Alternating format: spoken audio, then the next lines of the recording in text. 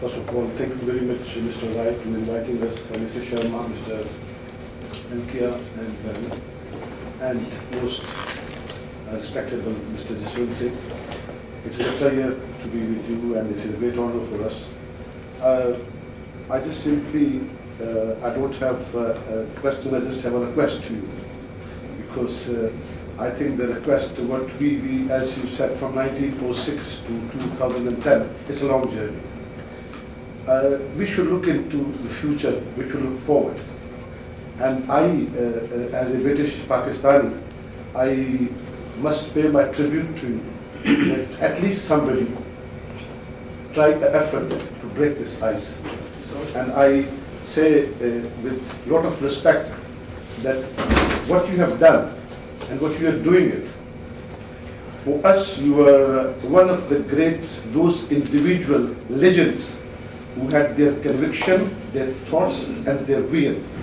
And we must want that the peace process we think for the South Asia, living in Britain, we want that you should continue this uh, good work which you have started and wish you all the best. And any assistance which we do, we are there. And as my friend Mr. Kumar said, if you go for the grievances and go for the thing which happened in the past, nobody won the war. After every war, you have to come and sit for the dialogues. So let's start our dialogues. Let's take that privilege of your presence and we expect and we welcome you and we want you to continue on every level in any capacity with us. And for that, I firstly start to invite you along with my friends uh, for a cup of tea uh, either tomorrow or day after tomorrow. Uh, some friends from a Peace International. Where जिंदगी पर आईना पहुंचते रहे कल हम भूल कर ज़िंदगी भर आईना पहुँचते रहे।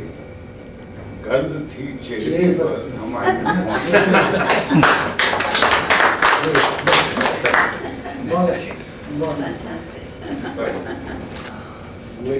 आपकी इजाज़त से वो शेर आपने कहा तो उस्ताद दामन का एक बड़ा खूबसूरत शेर है वो पंजाबी में है समझ सकते ट्रांसलेशन और लैंग्वेज में है। कि तुसी आज़ादी आज़ादी पे फूकदे सो मोए तुसी भी हो ते मोए असी भी हाँ ते लाली अखां दी साफ पे दसदी रोए तुसी भी हो ते रोए असी भी हो Yes.